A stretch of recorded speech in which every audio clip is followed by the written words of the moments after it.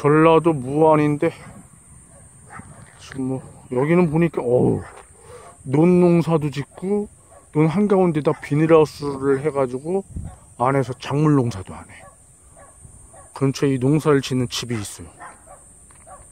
바로 이 집이 저 농사를 짓는 저 집하고 이 집하고. 농사를 무진장 많이 짓나 봐요 글쎄. 크, 이 집은 바로 앞에는 도로에 도로 도로인데 이렇게 도로 바로 안쪽에다 이렇게 집을 쳐놨네. 여기도 비닐하우스도 같이 농사 짓네. 아니 농사 부자인데요.